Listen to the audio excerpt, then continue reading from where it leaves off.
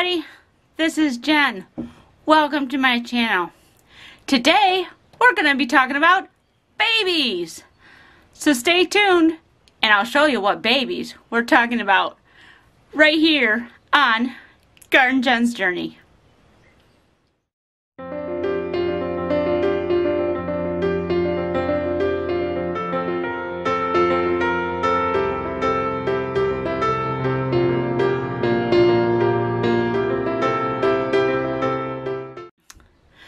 So today we're going to be talking about babies. Not for me human babies, but we're talking about farm babies. It's that time of year when farms start having babies all over the place because spring is right around the corner and spring means new life. It's no different here in our little homestead. We have lots of babies that we are getting ready to introduce onto the farm. So let me show you what we've got going on right here on our little homestead. So right here is uh, our brooder box for our chickens. My husband revamped it a little because it's actually sitting on our outdoor porch um, out here on our deck. And so he wanted to uh, make sure that it was draft free um, the box is a plywood box and then he insulated with insulation on the outside. So no the chicks won't be able to eat the insulation. And then up here where my door is he put this piece of uh, this is heat vent um, insulation.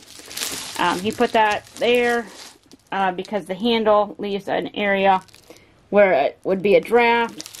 So we've got that all covered and then this is where the heat lamp's going to go. So he left that open for the heat lamp. And then it's pretty spacious in here. I don't know if the camera will pick up how spacious it is. Um, this is basically a 3 foot by uh, 6 or 8 foot brooding box here. We usually have about 20 chicks in it every spring. So we've got that ready to go. Now I'm going to take you inside and show you what's going on inside. Contrary to many of the magazines and, and articles that tell you do not have live poultry inside your homes, we kind of don't have an option because of our very small homestead.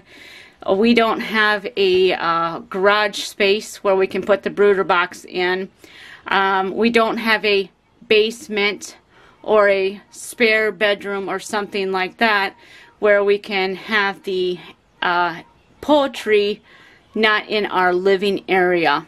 So we do have them inside, but we're very meticulous on making sure that we keep their space clean and also when we handle them or clean out their uh, brooding boxes that we make sure that we wash our hands to keep any potential thing like salmonella or anything like that down. Use common sense and you'll be just fine.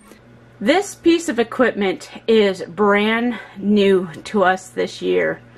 You guys might know what this is. if not, this is a chicken incubator. Um, or I should just say poultry incubator. You can put a variety of different types of eggs in here at different times, of course. You don't mix ducks and chickens and geese um, in the same incubator. Uh, we have 18 eggs in here. This particular model holds 41, but we currently have 18 eggs in there for our trial run. Like I said, this is uh, brand new for us this year. I made sure to write on here where I need to have my humidity for the first 18 days and then how I need to change it the last three days and to turn off my egg turner so I don't forget. And I also have in here, you can see it right there, that's a separate uh, humidity and temperature thermometer I had in here just to make sure that this is accurate and they are a few degrees difference. Um, this says it's 100 degrees. I'm not sure of the humidity at the moment. Uh, but this and the one down there do not agree. So I use the one down there to make sure that my temp is accurate and that I have enough humidity in here um, at the time. Uh, these eggs have been in here for um, eight days now. I did candle them last night.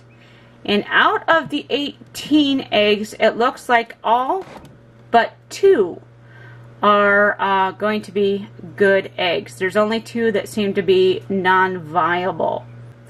So this is our chicks that we are hoping to hatch on our own this year. We shall see how that goes. We're also going to be adding some more buff Orpingtons and potentially light Brahmas to our mix. Um, the goal here from from this year out after we get some more Brahmas and buff Orpingtons is to have our own barnyard mix um, that will have eggs from the buff Orpingtons, the Brahmas, and we have Americanas um, roosters. Uh, so we want to make sure that we uh, have a barnyard mix of those three particular breeds. Uh, we love those breeds and they're very cold hardy. Um, the Americanas are more of your warm weather lane hens where the buff Orpingtons and the Brahmas lay eggs in the colder season.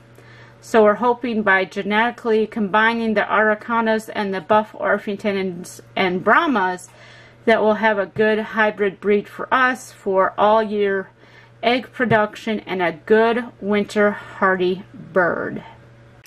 Our ducklings. You can see how excited they are to see me. They know when I come in that I usually give them water. See if I can get this to focus in on them a little better. Probably not because they're moving so much. But yeah, um, we have three three Khaki Campbell ducks. And I've only got three because we live on a small homestead. And where these guys are going to be put is actually in my garden. Khaki, Campbells and uh, Indian Runners are very good ducks to have for your crops. They eat the bugs, especially snails and slugs that decimate your garden crops but they don't decimate the garden crops themselves. Um, so they're very good to have in your garden to help ward off those pests naturally. So we got three of them. That way there's a nice little group that can keep each other happy. Currently I do believe that I have one male, which is the dark one way over, oh sorry, one male, which is that guy back there, and then two females is what it looks like currently. We shall see as they get older what we have. So that is our ducks.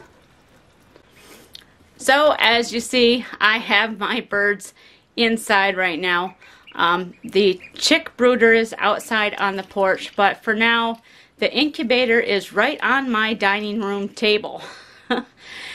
that dining room table is not actually used as a dining room table. It really hasn't been since we moved here. We live in a smaller home. It's about 864 square feet. And so things are kind of tight. And uh, so the dining room table where it's at is right in front of the wood stove.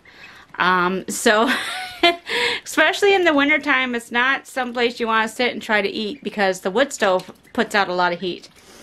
Um, the way our home is set up is kind of unique um, because it's an older home. It was built in the 30s and so it was built without modern amenities. So in the kitchen there wasn't a stove or a refrigerator in this home. They used a cooking stove to cook their meals and I'm not sure how they kept things cold because they didn't have a refrigerator at the time. So with the modern equipment that we now have in this home, it's a little tight in that kitchen. So anyways, the kitchen table is hardly ever used as a table. It's more used as additional counter space. So that's where my, my chickies are, the incubator. and I'll keep you updated on when they start to hatch and see what we get and how many we get. I hope you found this video kind of interesting. If you did, please give it a thumbs up. I thank you so much for watching this video and me on my journey. If you haven't already, please subscribe to the channel. That way you can stay updated with what goes on right here on my journey. And I hope that wherever you are, you are wonderfully blessed. So until next time, everybody, bye-bye.